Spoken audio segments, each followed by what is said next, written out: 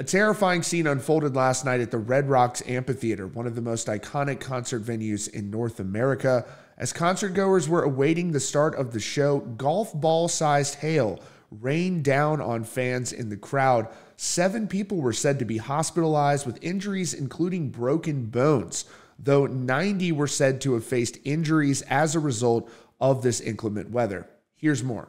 If you're new to Rockfeed, hit the subscribe button with notifications on for the latest hard rock and heavy metal news.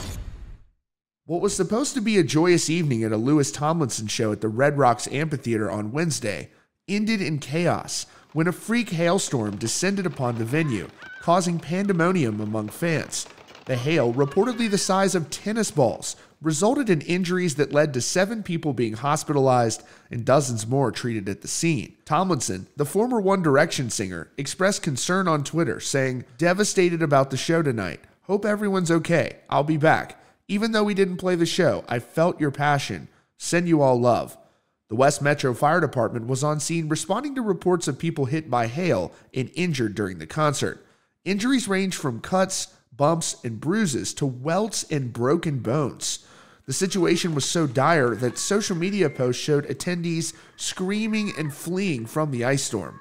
A spokesperson from the Red Rocks told the Denver's Fox 31 that several inches of hail had fallen in the seating area.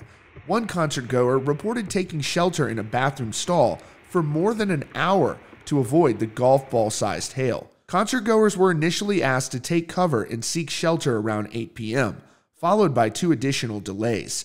Eventually, the venue officially postponed the show at 10:25 p.m. due to severe weather that also reportedly spawned at least one confirmed tornado in the area. Despite the unfortunate turn of events, Louis Tomlinson is scheduled to continue his tour, with the next date being in Seattle on Saturday, June 24th.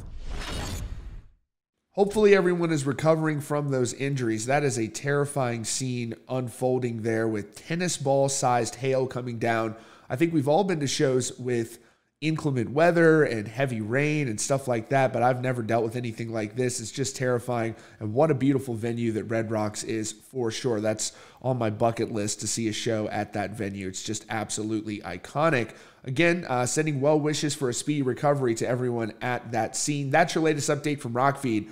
Be sure to subscribe with notifications on for the latest news and updates.